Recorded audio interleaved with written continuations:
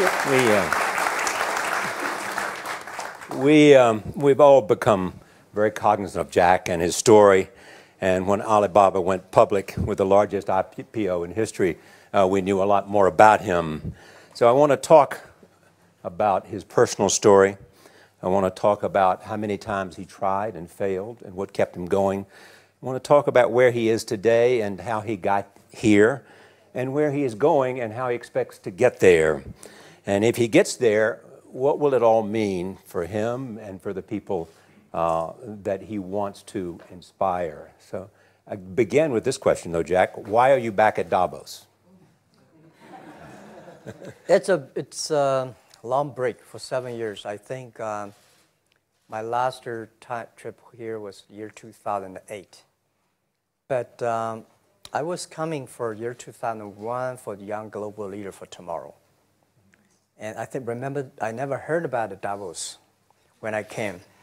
But when I came, I, uh, I, in the Switzerland, so many young people demonstrate. It was such a horrible thing that I was, and, and I asked them, why did they do it? They say, anti-globalization.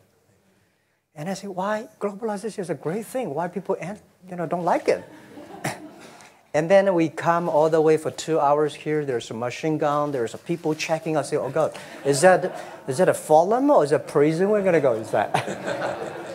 but when I joined the forum uh, at the Young Global Leader, I was thrilled by uh, so many ideas. In, for the first three, four years, I learned what, what, does, what does the globalization mean? What does the corporate citizenship mean? What about social responsibility mean? And all these new ideas. And I see so many great leaders talking about leadership. And I benefit a lot. And the year 2008 and 9, when the financial crisis came, I think it's better go back to work. Because we can never win the world by talking.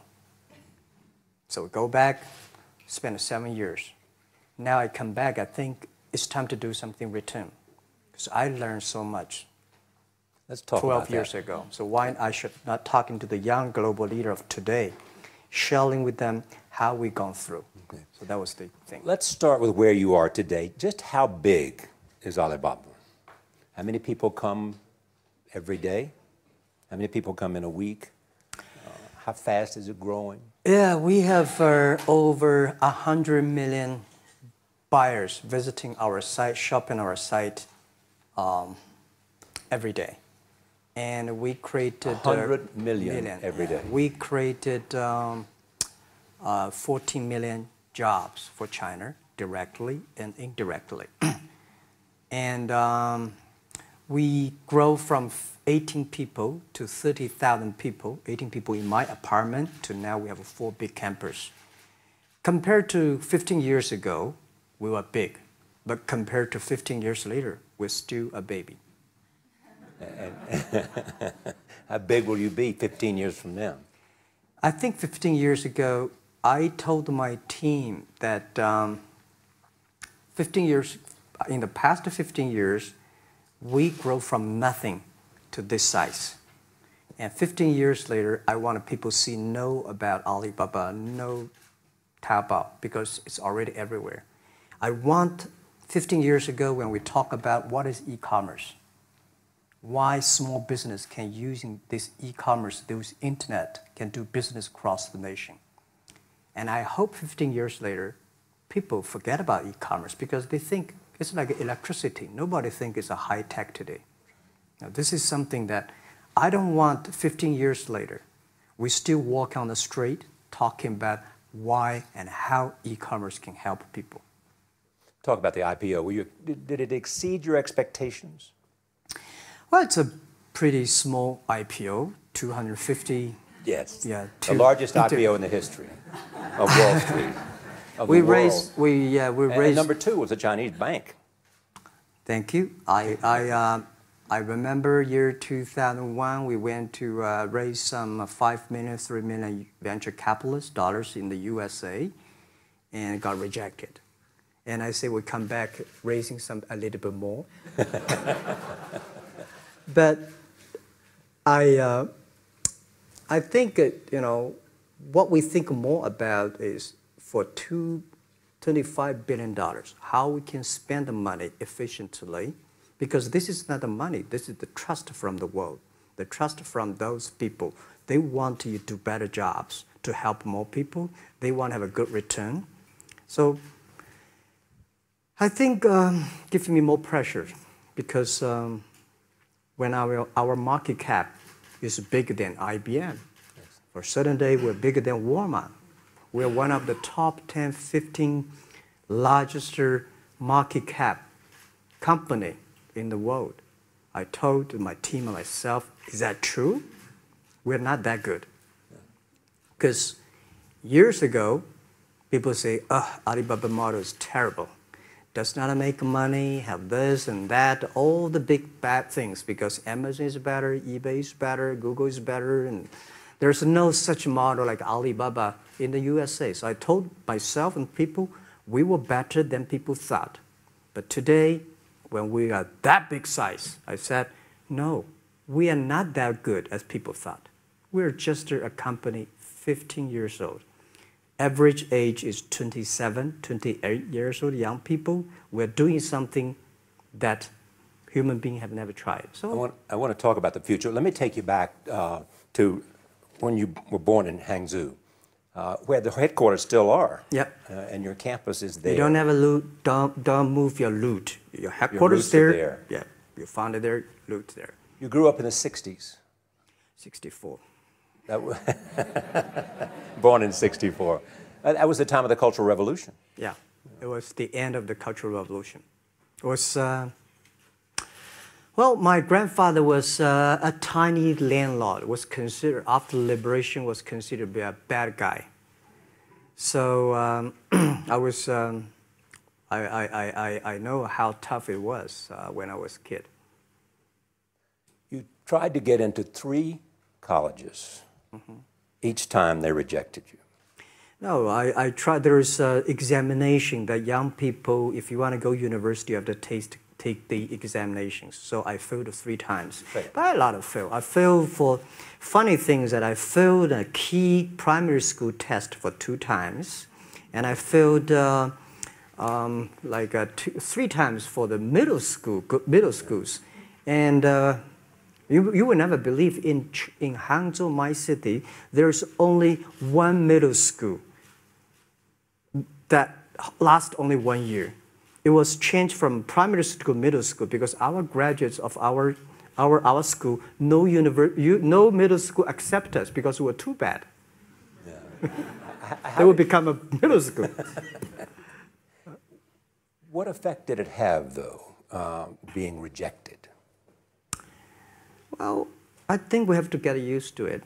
We're not that good. Even today, we still have a lot of people reject us. I think um, when I uh, in the, graduate from universities and before I, you know, for three years I tried to fill in the universities. So I applied jobs for 30 times, got rejected. I went for a police. They said, no, you're not good. I went to even the uh, KFC. When KFC came to China, come to my city, 20, 24 people went for the job. 23 people accepted. I was the only one guy. and we went for police. Five people, four of them accepted. I was the only guy that I rece- received it. So to me, being turned down, rejected. Oh, by the way, I told you that I would I applied for Harvard yeah. for 10 times rejected. I know I'll be rejected. I just want now. to say that. yeah, sorry now. Ten times you wrote them and said, I'd like to come to Harvard. Yeah. And then I told myself someday I should go teach there, buddy. I, I, I, think that can be arranged. Um, Richard Nixon came to Hangzhou. Yeah. And after that, tourists flooded the place. Yeah. And that's how you learned English. Yeah. I really like the, I don't know why at 12, 13 years old, that time I suddenly fell in love into the language, the English. And there's no place you can, you can learn English at that time. There's no books, English books. So I went to the uh, Hangzhou Hotel, now called Hangzhou Shangri-La Hotel, because that was the hotel uh, can receive the foreign visitors. So every morning for nine years, I showed them around as a free guide, and they taught me English. And uh, I think that changed me. Today, I'm a 100% made in China. I've never got a one-day train outside China. Yeah. And uh, people, when people talk to me, say, Jack, how can you speak English like that? Why sometimes you, you talk like an Amer- Western guys? I think that was the nine years. These Western for, uh, tourists opened my mind because everything they told me are so different from the things I learned from the schools and from my parents. So now I have a habit. Whatever I see, whatever I read, I use my mind. Think about for two minutes. Is that how Ma Yun became Jack Ma? Actually, Jack, the name was given by uh, a, a, a, lady in tennis. She's a tourist. She came here and she said, uh, came to Hangzhou. We had a, we become a pen friends. Ma Ring is so difficult to pronounce. So she said, do you, do you have an English name? I said, don't. So can you give me an English name? She said, uh, okay. She said, my father called Jack. My husband called Jack. What do you think about Jack? I said, good. so I've been using that for that many years. Yeah. uh, first visit to America, 1995? 1995, yeah. I, uh, I come here for a project helping the local government to building up a highway. Uh, and you tried the internet? I tried the internet in Seattle and um, in a building called the USA Bank. I don't know whether USA Bank is still there or not, but it's a building. And uh, this, uh, my friend opened a small office, which is like uh, only 10% bigger than this room. And there are a lot of much computers in there. And he said, Jack, you, this is internet. I asked, what is internet? He said, you know, search whatever you want. At that time, they used Mosaic, very slow, right? Yeah. And I said, I don't use it. I don't want to type because internet, computer is so expensive in China. If I destroy it, yes. I cannot pay. He said, just to search it. So I searched the first word, beer. I don't know why, because it's easy to spell, baby. and I see beers from Germany, beers from USA, beers from uh, uh, Japan, but there's no beer from China. And I say, okay, type the second word is China. No data. Nothing. Nothing. And I 1995. said, 1995. 1995. No data about China. So I talked to my friend, why not make some something about China? So we made um, a small, very ugly looking page called China. It's, it's, about, it's something like I did a translation agency, we listed on there. It was so shocking. We launched at 9.40 in the morning. 12.30, I got a phone call from my friend. He said, Jack, you know, you got five emails. I said, what is email? and they said, these are the things. See, people so excited. Where are you? This is the first time I see a Chinese website on that. How can we kind of, when, can we do something together? So I think this is something interesting. So we should do it. Why did you call it Alibaba? Alibaba? Well, when I started, I think internet is global. We should have a global name, and a name that um, interesting. Like at that time, the best name is Yahoo, right? I think I can. So I've been thinking for many days. Suddenly, thinking Alibaba is a good name. So I I was happened to be in San, San Francisco that day. I have a, did have a lunch, and the waitress come. I asked her, "Do you know about Alibaba?" She said, "Yes." I said, "What is Alibaba?" She said, "Open Sesame." Good. So I went on the street, asked about 10, 20 people. They all know about Alibaba, 40 Thieves, and uh, Open Sesame. And I think this is a good name. And start with A. Whatever you talk about, Alibaba is always top. You have said before that in creating Alibaba, you had to create trust. Yep. Uh, because people in China were used to face to face. Yeah. How did you create trust? I think um, because we started out doing business on internet. I don't know you, you don't know me. So how can you do things online unless you have trust?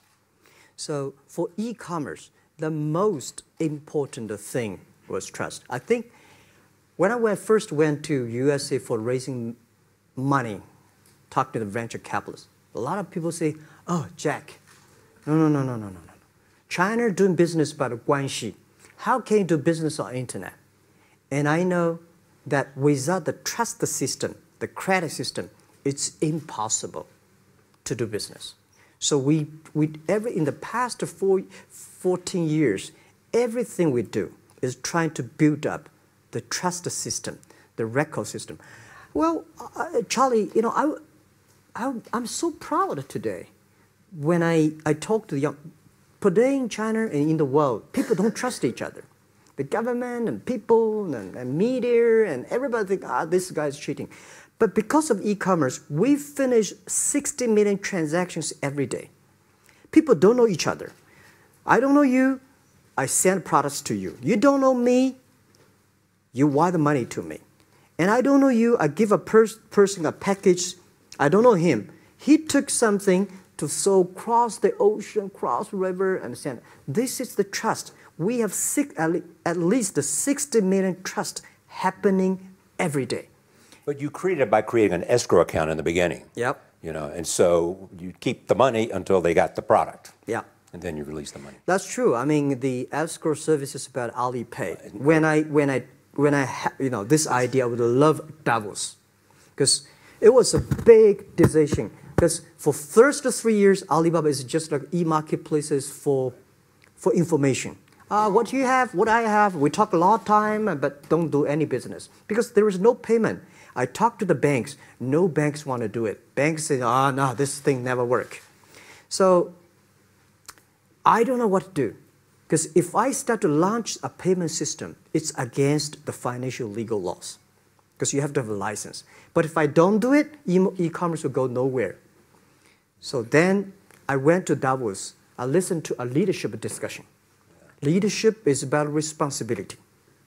And after I talk, listen to that panel, I give a call to my friends, my colleagues in the, my apartment, say, do it now, immediately. If something wrong, the government not happy about that, if one body has to go to the prison, Jack might go to the prison. Because it is so important for China, for the world, to build up the trust system. And if you did not do it, I said, and do not do it properly, stealing money, money wash, no trust record, I send you to the prison. so yeah. that was the thing. And people, people don't like it. So many people I talked to at that time for Alipay, they say, this is the stupidest idea you have ever got. But I say, I don't wear the stupid clever as long as people use it. Now we have uh, 800 million people using this Alipay. Stupid things, if you do whatever is better. Alipay is a privately held thing. It's not part of Alibaba. No, it's a Let me private- talk about money for a second. Yeah. Uh, you have never gotten money from the Chinese government? No. None. None. I, I, I, I, um, I want it at the beginning, and later I don't want it because I think if the company always think about uh, picking money from out, out of the government off pockets, that company is, is rubbish. Think about how can you make money from the customers and market and then help customers succeed. That's our philosophy. No money from Chinese banks? No.